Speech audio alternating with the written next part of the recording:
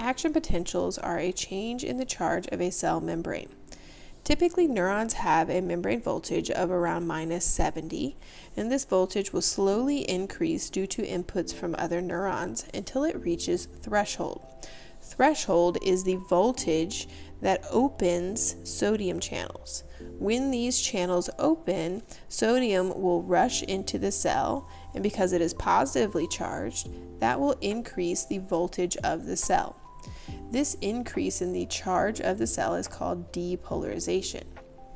Once the cell reaches a positive voltage, that will then open voltage gated potassium channels, causing potassium with its positive charge to leave the cell, and therefore the inside will become more negative.